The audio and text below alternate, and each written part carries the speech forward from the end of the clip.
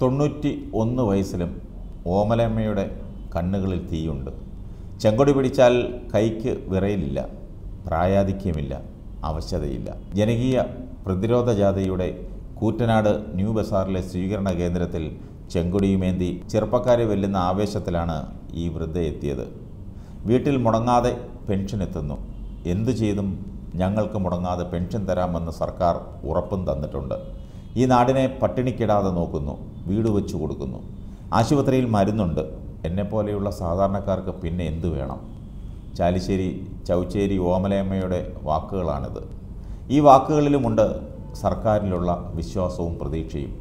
പാലക്കാട്ടെ സ്വീകരണ കേന്ദ്രങ്ങളിൽ തിങ്ങി നിറയുന്ന ജനസാഗരത്തിലെ ഒരംഗം മാത്രമാണ് ഓമലയമ്മ കർഷകർ കർഷക തൊഴിലാളികൾ തൊഴിലുറപ്പുകാർ ആദിവാസി വിഭാഗങ്ങൾ അങ്ങനെ ജനസാഗരമാണ് ഓരോ സ്വീകരണ യോഗത്തിലും. പാലക്കാടൻ ചൂടിനോ ചുരം കടന്നെത്തുന്ന വരണ്ട കാറ്റിനോ പിന്തിരിപ്പൻ ശക്തികൾക്കോ ഞങ്ങളെ പിന്തിരിപ്പിക്കാനാവില്ലെന്ന് ഇവരുടെ മുഖം വിളിച്ചു പറയുന്നു. വർഗീയതയ്ക്കും കേന്ദ്ര സർക്കാരിന്റെ ജനദ്രോഹത്തിനുമെതിരെയുള്ള ജനകീയ കോട്ടയുടെ കരുത്തുറ്റ ചുവരുകളാവുകയാണിവർ. തേൻകിനിയുന്ന മനസ്സിനൊപ്പം കൈനിറയെ കാട്ടുതേനും ചിരപ്പൊരിയുമായിട്ടാണ് അതിരാവിലെ തന്നെ മാരിമൂപ്പത്തി മലയിറങ്ങിയെത്തിയത്. അട്ടപ്പാടി കൊടുകമണ്ണ ഊരുനിവാസിയാണ്. പ്രായാധിക്യമുണ്ടെങ്കിലും ഉറച്ച വീര്യം. ജനപ്രതിരോധ ജാഥയുടെ നായകനെ കാണണം ലാൽ സലാം പറയണം കയ്യിൽ കരുതിയ സമ്മാനങ്ങൾ നേരിട്ട് തന്നെ നൽകണം. ഇതാണ് അവരുടെ ലക്ഷ്യം. മലയിറങ്ങി കിലോമീറ്ററുകൾക്കപ്പുറത്തെ സ്വീകരണ വേദിയിലെത്തുന്നതിന്റെ ബുദ്ധിമുട്ടുകൾ. ഒപ്പമുള്ളവർ പറഞ്ഞെങ്കിലും അത് വകവെച്ചു കൊടുക്കാൻ മാരിമൂപ്പത്തി തയ്യാറായില്ല.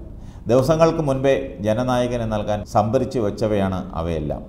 രാവിലെ തന്നെ വണ്ടി കയറി ചുരമിറങ്ങി.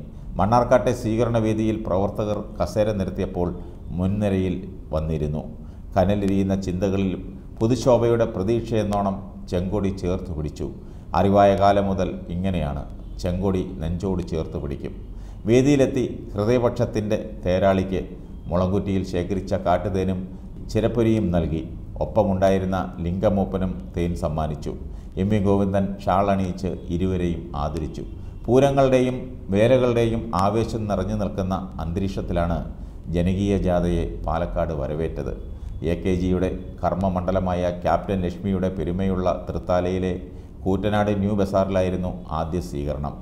തുടർന്ന് കലയുടെയും വേലയുടെയും നാടായ ചെർപ്പുളശ്ശേരിയിൽ ക്യാപ്റ്റന് കാളകളെ സമ്മാനിച്ച് ഉത്സവലഹരിയിൽ സ്വീകരണം നടത്തി.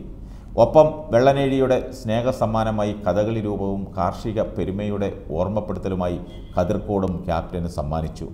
കടുക്ക ചുവന്ന വിപ്ലവ നാടായ ഒറ്റപ്പാലം ചീനക്കത്തൂർ പൂരത്തിന്റെ ആഘോഷത്തിലാണ് ജാഥയെ വരവേറ്റത്. തലയ്ക്കു മുകളിൽ വെയിൽ കത്തുന്ന പകൽ മൂന്നിന് ജനസഞ്ചയം സ്വീകരണ കേന്ദ്രത്തിലേക്ക് ഒഴുകിയെത്തി. അട്ടപ്പാടിയിൽ നിന്ന് ക്യാപ്റ്റനെ കാണാൻ നൂറുകണക്കിന് ആദിവാസി ജനവിഭാഗങ്ങളാണ് ചുരമിറങ്ങി മണ്ണാർക്കാട്ടെ സ്വീകരണ കേന്ദ്രത്തിലെത്തിയത്.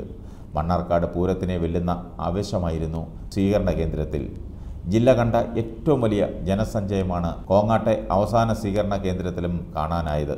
ചെറു റാലികളായി ചെങ്കൊടിയുമേന്തി നിലയ്ക്കാത്ത ജനപ്രവാഹം പല വീതികളിലൂടെ ഒഴുകി കോങ്ങാട് ബസ് സ്റ്റാൻഡിലെത്തി. ലക്ഷ്യം ഒന്നു മാത്രം. ചെങ്കൊടിയുടെ പ്രതിരോധ തണലിൽ സുരക്ഷിതരാവുക